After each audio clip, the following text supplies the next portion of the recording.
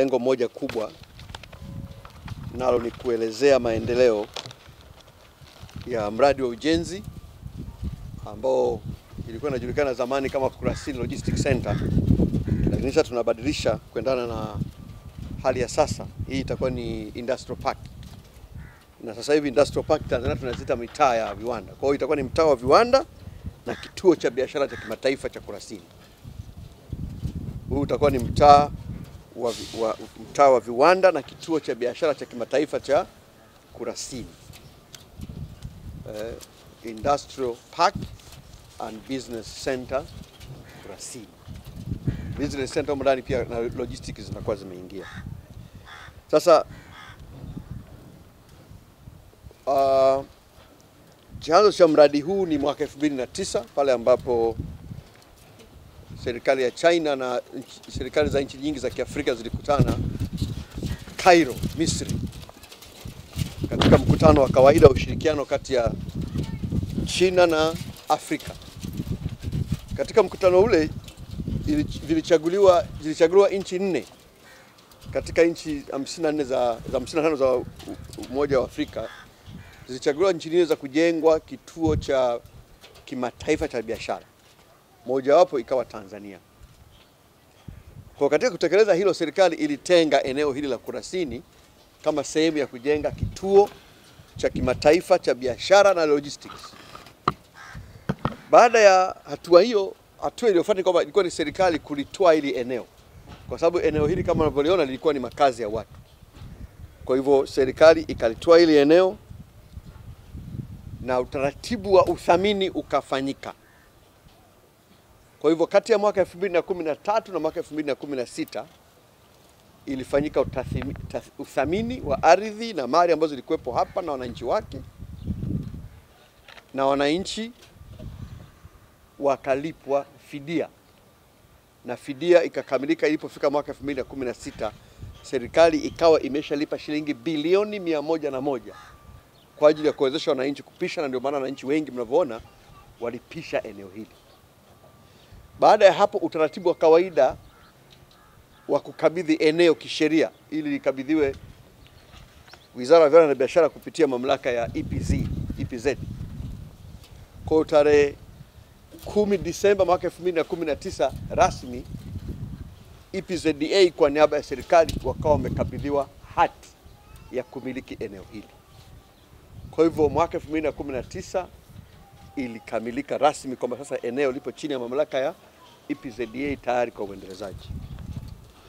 Kwa hiyo kufuatia kukamilika kwa taratibu hizo, wale wanaofuatilia bajeti mwaka huu kuandika bajeti ya, ya serikali kupitia Wizara ya Viwanda na Biashara iliyoiwasilisha bungeni na kufuatia hotuba ya Mheshimiwa Rais Samia Suluhu Hassan ya tarehe 22 Aprili mwaka huu bungeni ambapo aliweka mkazo kwenye ujenzi wa mitaa ya viwanda yani industrial parks. Kwa hivyo sisi kama wizara tulifuatilia maelekezo hayo na tukaandika andiko namna ya ujenzi wa industrial parks, na tumezigawa kwenye maeneo mawili. Eneo la kwanza ni industrial park za kitaifa ambazo zitakuwa chini ya usimamizi wa EPZ, mamlaka ya EPZ na zingine zitakuwa chini ya usimamizi wa local government. Kwa zile ambazo zitakuwa chini ya mamlaka ya, ya kitaifa zitakuwa chache, nyingi tunataka zimilikiwe na halmashauri kule. Kwa hiyo moja ya maeneo mitaa ya viwanda ambayo serikali inataka kuyasimamia moja kwa moja kupitia EPZ ni hili eneo la Kurasini. Kwa hivyo kwa Dar es Salaam hii itakuwa ni moja ya mitaa ya viwanda. Kwa ile eneo ni muhimu sana kwa ajili hiyo. La pili ni ujenzi wa viwanda vya kutengeneza na kuunganisha bidhaa mbalimbali ikiwemo kuunganisha vifaa vya elektroniki. Kwa hivyo hapa pia itakuwa ni industrial park hiyo, ndani yake kutakuwa na viwanda vya kutengeneza na kuunganisha bidhaa mbalimbali ikiwemo hizo bidhaa za electronic.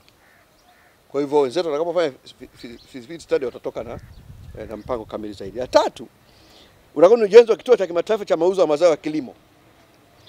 Hapa tunataka tuifanye kuwa ndio ile international market Yes. eh, soko kubwa la mazao.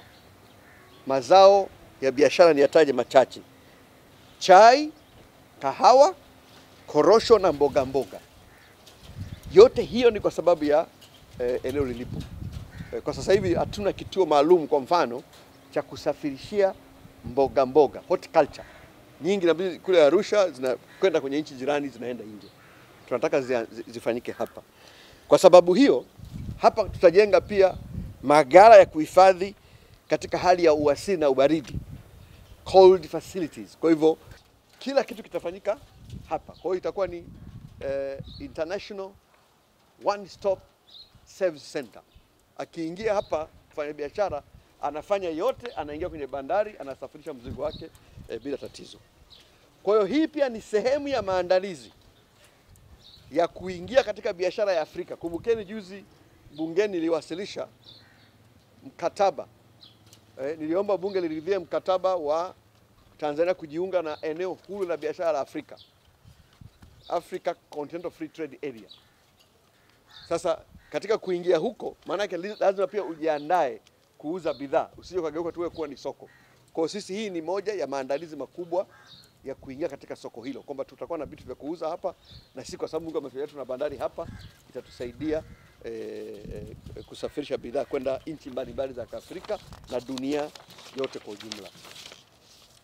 Kwa hivyo katika mwaka huu wa fedha Mheshimiwa Rais Samia Suluhu Hassan ameidhinisha shilingi bilioni 30 kwa ajili ya kutekeleza mradi huu kwa kuanzia shilingi bilioni 30. Sasa hizi fedha zitatumika kwa ajili ya nini? Fedha hizi zitatumika moja kwa ajili ya kujenga ukuta.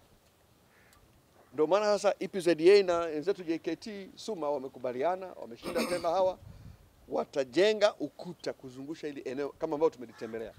Eh, kama unavyoona sasa hizi linavamiovamia, tuliwaruhusu wenzetu halmashauri ya manispaa ya Temeke, ni mradi wao wa kupaki magari, yataondoka haya yote. Sasa eneo litakuwa secured kwa ukuta. Ya pili ni kuweka miundombinu wezeshi, kwa hiyo namely umeme, maji na barabara. Hiyo ni kazi ya serikali. Kwa hiyo tutaweka miundombinu ya wezeshi hapa eh, barabara, maji, umeme na tutagharamia pia shughuli za eh, huduma ya mtaalamu mshauri consultant ambaye baada ya tenda ameshinda BICO, Bureau for Industrial Cooperation kutoka chuo kikuu cha Dar es Salaam, ndio amepewa kazi hii ya, kut, ya ushauri hapa, ambaye atafanya kazi gani? Moja, ataandaa kitu kinaitwa feasibility study, sio. Ataandaa master plan na atafanya ile environmental impact assessment kwa kutathmini athari za kimazingira. Ndio mradi wote unatakiwa uwe package hiyo. Kwa hivyo hizi hela zote hizi bilioni 30 zitatumika kwa ajili hiyo, na Mheshimiwa Rais ameshaidhinisha na tayari tumeshapata hela eh, kwa ajili ya kuwalipa hawa wenzetu consultant pamoja na JKT na hela ipo, kwa hivyo watakuwa wanalipa. Kwa hiyo hakuna changamoto ya kifedha. Jambo la nne kubwa ni kwamba mradi huu utatekelezwa kwa ubia kati ya serikali na wawekezaji wa sekta binafsi. Tayari serikali imeshagharamia, imeshatoa eneo eneo la serikali hili, tumeshalipa bilioni mia moja na moja. Serikali itawekeza katika miundombinu, tunajenga ukuta, tutawekeza miundombinu ya umeme, maji na barabara. Serikali itafanya hayo. Kwa tayari serikali ni mdau mkubwa, tayari yeye imeshawekeza. Sasa kujenga hivyo ambavyo nimevieleza, viwanda, hizo logistic center, tunawakaribisha wawekezaji wa sekta binafsi. Na tulitangaza. EPZA kupitia utaratibu wao wa kisheria walitangaza, inaitwa tuli, tuli expression of interest. Tuliwaomba watu wenye nia ya kuwekeza wajitokeze, na tunashukuru Mungu walijitokeza wawekezaji, na baada ya kufanyika uchambuzi wawekezaji watano ambao nitawataja hapa, jambo lina wazi kabisa, wananchi walijue.